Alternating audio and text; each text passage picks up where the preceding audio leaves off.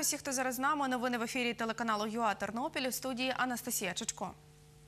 У цьому випуску дивіться про таке.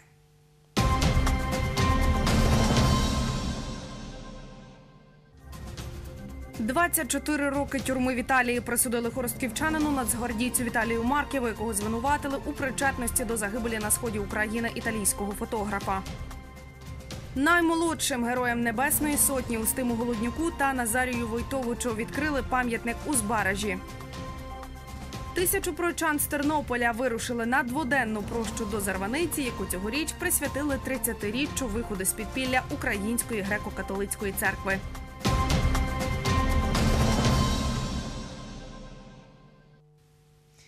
«24 роки ув'язнення. Такий вирок, вирок сук, суд присяжних у італійській павії оголосив для українського нацгвардійця Віталія Марківа. Його звинуватили у причетності до вбивства італійського фотографа на Донбасі. Хто свідчив проти українця та хто приїхав до суду підтримати Віталія? Олена Блізнякова розповість. Італійське місто Павія, будівля суду. Від ранку тут збираються люди у вишиванках. Загалом кілька десятків тих, хто хоче потрапити на засідання. Сподіваємось на те, що е, ми зараз зустрінемо його і зможемо всі його обняти і привітати з, з виходом на волю, яку він заслуговує, яку вже чекає понад два роки. Засідання починається. Віталію Марківу, якого підозрюють у причетності до вбивства італійського фотокореспондента Андреа Рокелі під Слов'янськом 2014-го, дають право на останнє слово. У ньому він говорить, є українським солдатом, патріотом, очікує на чесний суд. На виправдальний вирок за відсутністю доказів очікують і ті українці, хто приїхав на засідання. Суд сьогодні відбувається у великому просторому залі, не в залі суду, а у залі провінції Павія, в історичному залі, де близько 150 Ah, PDCA Miss, і зал повністю ще набитий вишиванками, люд- людьми в вишиванках, які прийшли привіта... е, підтримати сьогодні е, свого земляка. Кілька годин судді перебувають у нарадчій кімнаті, повертаються із вироком. 24 роки за ґратами. Це більше на 7 років, ніж просив прокурор.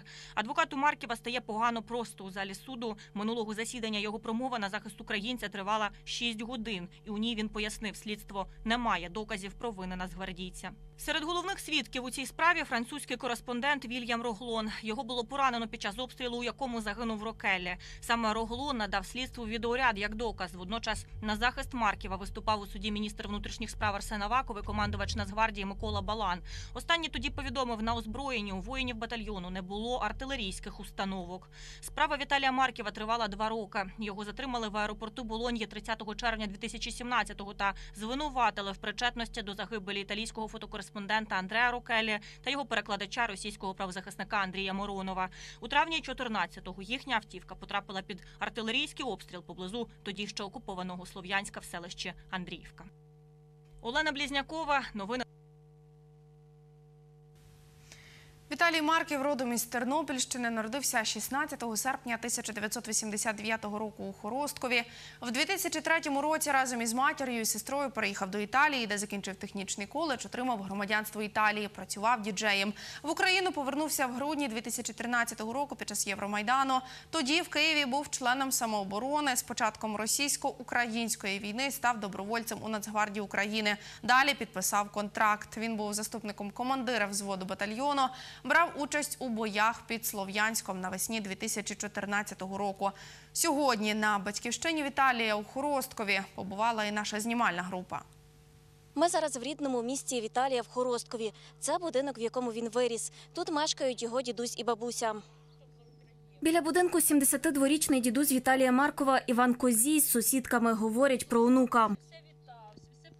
Дуже гарний хлопець. Ми пам'ятаємо, ходив до школи, вчився добре в школі, був слухняний, з бабців жив. Мама його поїхала, лишила їх тут, з сестричкою. Все файний хлопчик дуже вчив. Ми за нього підтримуємо, молимося всім будинком, всі сусіди, всі друзі, всі однокласники. Іван Козій розповідає, останні три роки не мав можливості спілкуватися з онуком. Новини про нього дізнається від дочки матері Віталія. Як він міг його застрілити, коли вони були акредитовані на цій території, де сепаратисти, їх там кредит- акредитували, а він був на українській території. І за там, я не знаю, за 10 чи за 8 кілометрів, як він міг з його з автомата застрілити і цього е, італійського е, журналіста. Ну, от там все сфабрикували, все там якісь пона збирували тих, що проти нього, що вони бачили, що він застрілив, як він міг застрілити. Це школа, де навчався Віталій Марків. Надія Максимчук, його класний керівник. Пригадує, як кілька років тому він приїжджав у рідне місто, розповідав про майдан і війну. Е, Років три в нас була зустріч із випускниками 10 років, як вони закінчили школу. І Віталій приїхав до нас на цю зустріч. Е, Він відчувався таким змужнілим чоловіком і мав мрію бути професійним військовим. Це помічниця міського голови Хоросткова Ольга Лівель. Вона дзвонить до мешканців Хоросткова, які прийшли підтримати Віталія до суду в Павії. Каже, члени громади впродовж трьох років влаштовували акції на підтримку Віталія. Зараз в нас на е, з ініціативи органу місцевого самоврядування е, є пропозиція е, узаконити ім'я Віталія Марківа в якості почесного жителя міста Хоростків. Хоростківська громада щиро дякує своєму земляку Віталію за мужність, силу, патріотизм, величезну любов до своєї батьківщини. Соломія Струс, Андрій Бодак. Новини.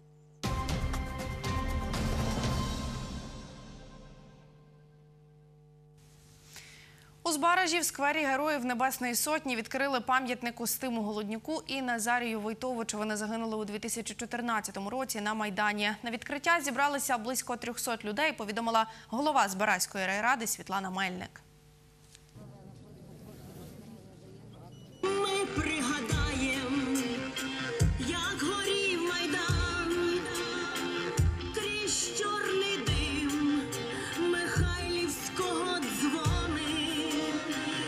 Я відчуваю гордість за нашу І молодь. Я вірю в те, що вони не нагадувати. досягнуть свого, що ми будемо вільні люди в своїй сказав землі. владика Нестор.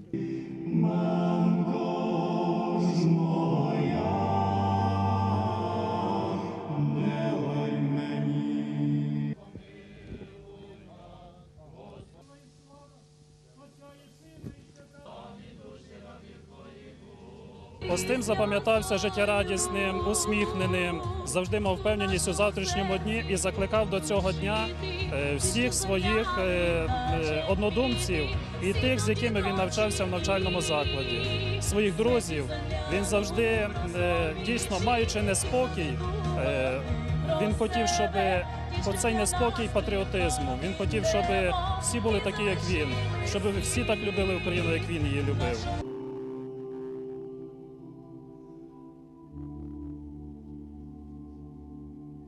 Це пам'ять, ну, так як батька, але краще, щоб пам'ятали люди про це все. Не забували тих дітей, за що вони гинули в цей час. Пройшло вже 5 років, а це вже історією стало. І цей пам'ятник буде нагадуванням усім поколінням. І цей сквер це сквер героїв. І він розташований в такому місці, де проходить е, багато молоді людей. І подивившись на цей пам'ятник, вони будуть е, згадувати і берегти пам'ять про наших хлопців. Пам'ятати все, що зробили всі хлопці на Майдані, це наш священний обов'язок. Тим більше, що зараз сложилася в державі така ситуація, бачимо, що багато людей, напевно, забули, що було 5 років назад. Забули, що війна. І ці пам'ятники це пряме нагадування, яку велику ціну ми заплатили за волю, за свободу, за українську державу, і не дай Бог нам зараз втратити.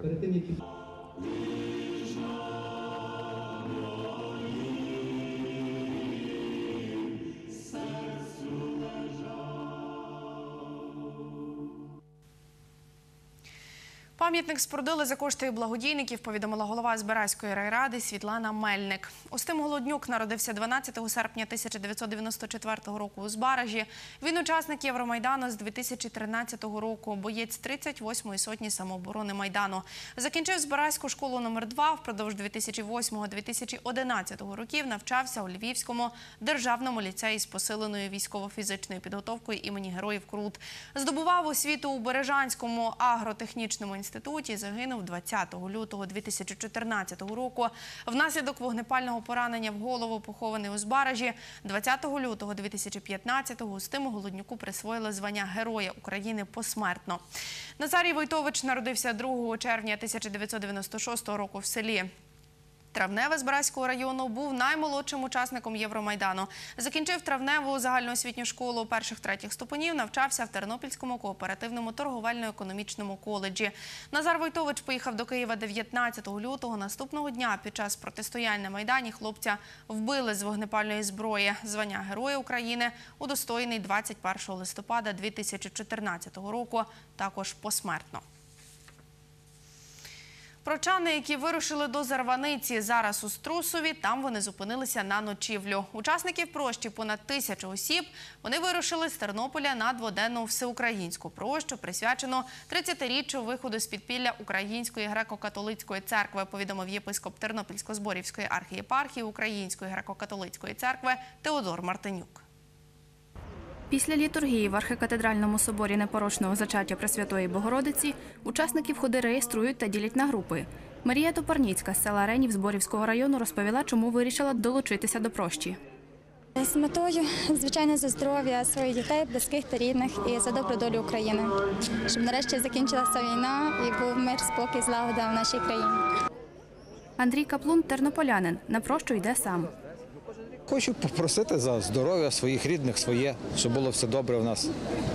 Ну, в мене, в родини, ну, взагалі в всій країні. Волонтери сформували 28 груп прочан. У кожній близько 30 людей. Віталій Бойко допомагає учасникам прощі вже в десяте.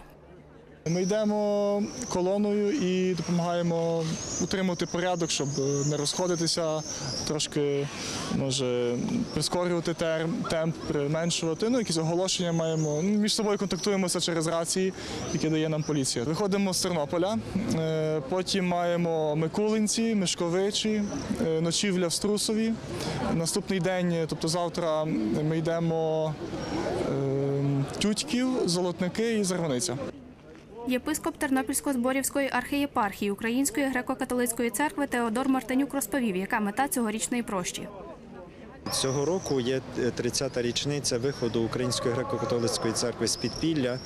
І як звичайно, е, з огляду на те, що в Україні є війна, ми молимося також за мир в Україні. Отже, це дві головні теми цьогорічної прощі. Ми на вулиці Йосифа Сліпого. Понад тисяча прочан у ці хвилини вирушає на всеукраїнську прощу до Зарваниці.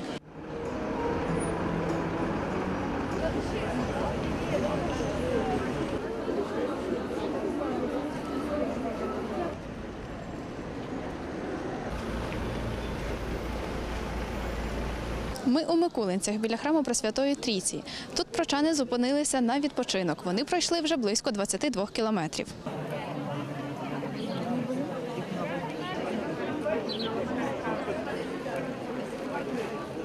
Тернополянин Володимир Шишка йде на прощу з онукою Єлизаветою Марією. Їй рік і 9 місяців. Вона в нас така, бачите, коляску сама пхає, і, і їде в колясці, і трохи не сам їдемо. Ми ще машину маємо. Це дуже добре. Потім набагато себе краще почуваєш. І взагалі до Зарваниці треба почастіше ходити. Марія Гуменюк з Тернополя розповіла, про що молиться в дорозі. Я йду дякувати Господу за те, що мені Господь посилає за все. Прошлого року мене чоловік дуже захворів. І такий, що сказали, діагноз страшний, але дякувати Господу, дякувати Господу, Господі виздоровив його, і я пообіцяла, що я далі буду ходити. Хоча я сама не дуже годна, але дякую Богу. Марчин Савапа приїхав на прощу з Любліна. Chciałem zobaczyć Ukrainę, ale także być na Хотів побачити Україну, але також здійснити паломництво. Зазвичай здійснюю паломництво до Ченстохови в Польщі, але цього разу не зміг там бути, оскільки я тут на такій оазі дітей і молоді. Тож я приїхав, щоб молитися до Матері Божої в Зарваниці. Здійснюю паломництво з колегами з семінарії з Польщі і України. Прошу ласки Божої для моїх близьких і для мене. prosząc o potrzebne łaski dla moich bliskich, a także dla mnie. Діана Ярошенко, Юрій Багрій. Новини. Найдорожчий до Зарваницького духовного центру відбувається з 1989 року, розповів керівник прес-служби Тернопільсько-Зборівської архієпархії отець Олег Харишин. Українська греко-католицька церква діяла в підпіллі 44 роки з 1946 по 1989. 17 вересня 89 року відбулася перша 200-тисячна хода віруючих Львовом. 29 жовтня греко-католики повернули собі першу святиню – храм Преображення Господнього.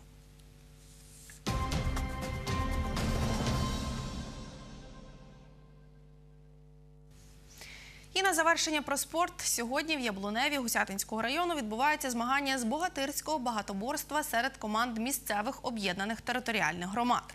Уже відбулися змагання серед команд віком від 14 до 16 років Коцюбинецької, Васильковецької, Хоростківської, Грималівської і Гусятинської об'єднаних територіальних громад. Повідомив співорганізатор змагань Володимир Ванджура.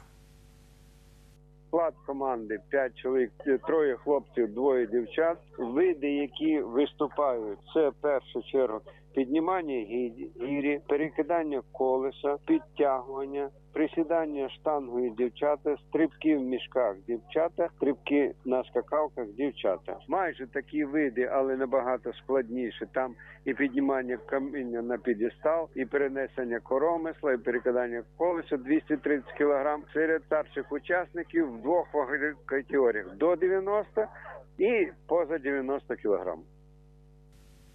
Як повідомив Володимир Ванджура, участь у змаганнях серед дорослих взяли семеро чоловіків з Коцюбинецької, Васильковецької, Хоростківської, Грималівської і Гусятинської об'єднаних територіальних громад. Такі новини на сьогодні. Дякую, що були із нами. Бажаю цікавого вечора п'ятниці кожному із нас і лише хороших новин. Побачимось.